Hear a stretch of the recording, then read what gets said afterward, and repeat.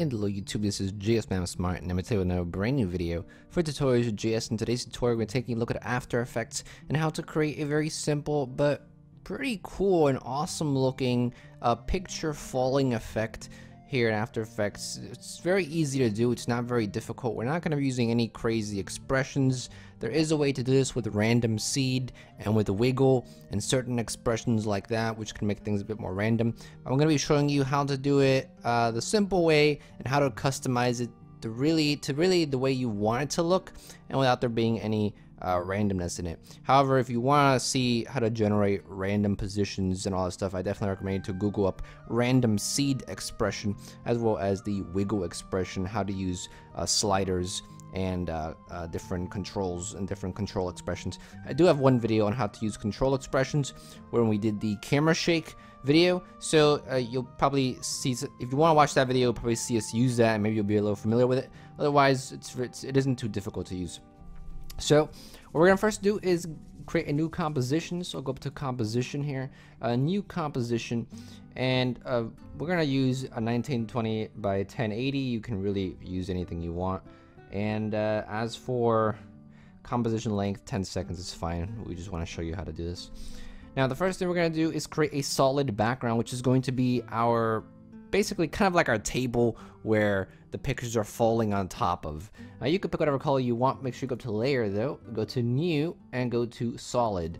Now if you have a texture, you can use a texture too. Say you have a wooden texture. You can use that just fine. Uh, just be aware it has to be a really big texture because you may have to scale it up some and you don't want it and you don't want it to be pixelated. But we're gonna go ahead and create a solid background and we picked a nice gray here. Uh, you can use anything, like I said. Go and press OK. Make sure it's the same size as your composition. Go and press OK. And uh, now that you have your background, or if you're using a texture, you have a texture, then you want to make sure you click 3D layer here. Make this a 3D layer, because that's what we want. And after that, we're going to go and right click here, and we're going to create new. Go to camera, and make sure that you have the settings of blur level of 200%, aperture of 1.40, and... Uh, yeah, it's pretty much it. That's kind of everything we need. Make sure also that depth of field is on as well. And go and press OK. And then we're going to create something else. Go right click again, click new again, and we're going to create a new light this time. Now this light, make sure you have it as white. Make sure intensity is at least at 100%. You can make this bigger if you'd like. Make sure cast shadows is also set to on. And shadow darkness is going to be how dark you want shadows to be on any object you place in this composition. 200% is fine. You can make it uh, darker than that, but I wouldn't put it any lower than this because it's kind of hard to see shadows then. So 200 is fine. And you can go ahead and press OK as well. And we get this nice looking environment here. Now, if for some reason uh, it doesn't look like this for you, it's because you have not set the 3D layer for the background. Otherwise, it'll look like that and you won't notice the difference. So you gotta make sure you hit 3D here. After that, what we're gonna do is grab our camera position, go ahead and toggle down the camera here with the little switch here, then go to transform, and then grab your position here. Just go ahead and click the position here. Go ahead and press Control C or Command C on the Mac to copy that position, and then paste it onto the light. And all you gotta do is Control V or Command V, and that will paste the position of the camera and give it the same position to the light. That way we get this nice looking uh, light here that's right in the center here. So from here on, we basically have our background. Now, uh, what you want to do is import your pictures. What I have here is actually three pictures that I've designed. Well, not really designed, just converted into Polaroid. Or kind of, not really Polaroid because it's basically a photo print effect. If you want to learn how to make these photo print effects here, I do have a tutorial on how to do this in GIMP. It's very easy to do. Uh, just make sure if you're following that tutorial, do not add a drop shadow because if you add a drop shadow, it's gonna it's gonna mess the composition up here. So don't add a drop shadow. But I think like for the first three minutes of the tutorial, I go over on how to add a border like this and how to add decor and stuff like that. So I do recommend you to watch that video if you don't know how to do it. Very easy though. It's not very not very difficult.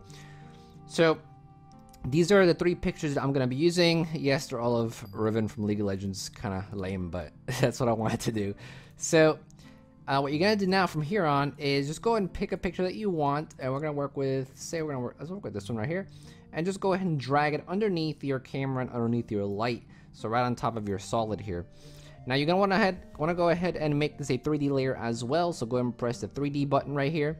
By the way, if you don't see these, if you don't see these buttons right here, if you don't see the 3D stuff right here, uh, make sure you click toggle switches here because you'll either see this and you won't see the 3D stuff. So you gotta make sure you click toggle switches here, and this switches between the switches. This switches between the switches. So that's a tongue twister. So make sure your solid, your background, and your picture are 3D and then go ahead and press AA. Just go ahead and tap the A key twice, and it will bring up the material options. Make sure you have uh, cast shadows set to on. And then what you want to do is go ahead and go to your, your background, your solid, or your texture, whatever you're using as a background. Go ahead and uh, toggle it down and toggle transformation down. And then in the position, you'll see an XYZ here. So this is X, this is Y, this is Z. Make sure for Z, you type in something like 1. Uh, you can put something like 2, 3, 4, or 5. Any low value will do. But this will basically bring that nice shadow there uh, underneath the picture there. If we zoom in, there's a nice shadow, which is exactly what we want. But 1 is just fine. And after that, we can basically animate our picture how we want it to fall. Now, because we have this as a 3D layer, we can basically move it left, right, up, down, um, close, far away, all that kind of cool stuff. And we're going to do some rotation work as well. Now, if your picture's too big like mine is here, all you got to do is press one of these little uh, boxes at the bottom, hold down the shift key, and you can just make it smaller if you need it smaller. And we're to make it about that size right there. Now, how you want to keyframe this is toggle down your picture here, your picture layer here, and go to transform. And basically, here is where you're going to be working with your rotation and your uh, position. So your positions here, your, your scale we're not going to be working with really, but your Z rotation. Don't work with the X or the Y rotation because they're basically going to make your picture look weird. So Z rotation, uh, this will basically determine how you want the photo to fall and which orientation. So if, if I want to make it fall like that, then I'll just keep it like that. And then for your position here, the only thing we're really going to be working with is uh, the Z. However, you can change the other values if you wanted to. For example, if you wanted to move more up, you can change the second value here. If you want it to move to the left or to the right, you can move the first value here. But essentially, the real effect is in changing the Z position here. So the Z position is what we're going to animate uh, essentially you want to go ahead, the first thing you want to do is, is change your X and your Y to where you want the picture to land. And then you go ahead and grab your Z position here. I think this is position, yeah. So here's your Z. And going from negative 2000, this will basically bring the picture uh, behind the camera. So make sure you hit the keyframe here as well. After you've selected negative 2000, make sure you hit the keyframe here. And then uh, just decide how long do you want this effect to last. How long do you want the picture to fall? And I think we're gonna go ahead and let it fall right around here. So maybe about one second. I want to take about one second for the picture to fall. And then from here, we're gonna change the uh, Z to about negative 100. And what was the original value of that? Was that was it zero before? Oh yeah, it was zero. So uh, you can put negative 100, but putting it to zero wouldn't be a bad idea either. If you if you want to if you ever want to change a value of a keyframe, just go ahead and double click the keyframe here, and you can easily change the value here. So there we go. And now we were to play this back like that. Uh, needs to render through actually first. Depending on how how fast your computer is, this will render in various amounts of speeds. But as you see, the picture's falling down slowly, and we have this nice 3D effect where the light is actually interacting with the photo, and we get the drop shadow, and it just falls down like so. So there we go, now we can go and do a nice preview, like that. Now, if you ever wanted to go a little faster, a little slower, you can always um, drag this keyframe here. Say you want to go quicker, you can drag it forward like so, and it will actually fall down a lot quicker than before. And if you want it to go slower, you just drag it forward, perhaps to two seconds. If it takes two seconds for the picture to drop, then that's fine as well. So here, it, it comes down fairly quickly. So after that, essentially you can do the exact same thing with all the other pictures. Say I have this picture right here. I want to go ahead and drag it into the composition like so.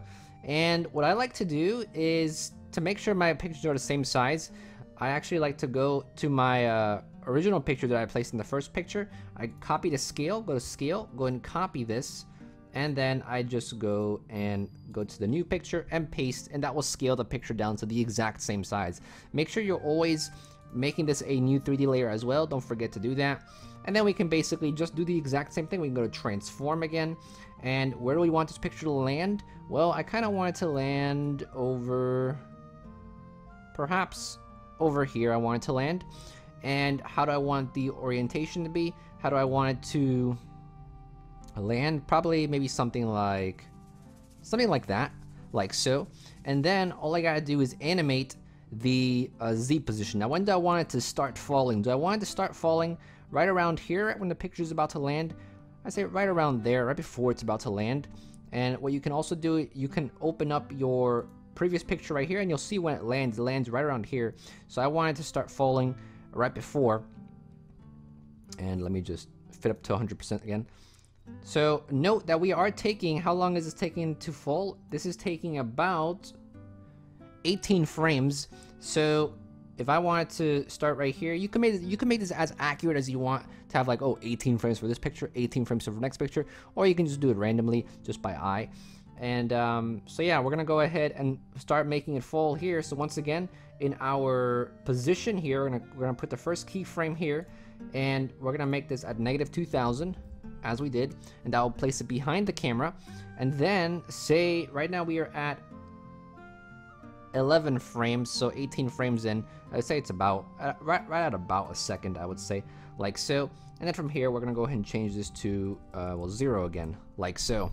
And then if we were to go and RAM preview this real quick, so just finished RAM previewing, here's our finished product, like so. And it looks really cool. And you can add as many pictures as you want, and you can add as many different crazy rotations and all this kind of stuff. Is keyframing is really cool in After Effects, and it's a really neat little thing to do that can really make your project stand out. You can do all kinds of crazy things. So after that, you want to keep on adding new pictures, changing uh, the, the, rotation and changing the position, and make sure you always uh, click the 3D icon here, and then you should be done, and you're basically you have your little project and you can add some text maybe at the bottom here saying like, oh, my collage or something cool like that. But hopefully you enjoyed the video. It's a very simple thing to do and it's, it's, it's, it's good practice if you're new to After Effects because you do you do work with cameras and lights and with different layers and with solids and different effects and with keyframing. It's a really nice beginner tutorial if you're new to After Effects. So if you have any questions or comments, any feedback, any any way to make this even cooler, even better, and actually what we forgot to do is make sure you also always go to your material options and make sure that you cast your shadows because we did not cast shadows here. That's something you also want to do. So make sure you, make sure you press a 3D layer and make sure you also cast shadows and uh, then you should be okay. So like I was saying, any questions or comments, leave down in the comment box below. I'll definitely be down there answering questions you may have. And if you enjoyed this video or you found it helpful, or you've seen some of my other videos and found those helpful, such as my GIMP guides, such as my Photoshop tutorials, Audacity tutorials, or any of the other videos, you can go ahead and donate a dollar to my Patreon. Anything as low as that is always helpful and is always very much appreciated. All you gotta do is click the card at the top right corner of the screen, and it'll take you to the page. I also have a tutorials channel, which is this one right here, a gaming channel, music channel, advice channel, and a vlogging channel. If you want to check all that stuff out, links are in the description, as well as on the end card. And that's pretty much it. Thank you for watching, as always. And this is GS Man Smart, and I'll be back sooner than you think. Don't go anywhere.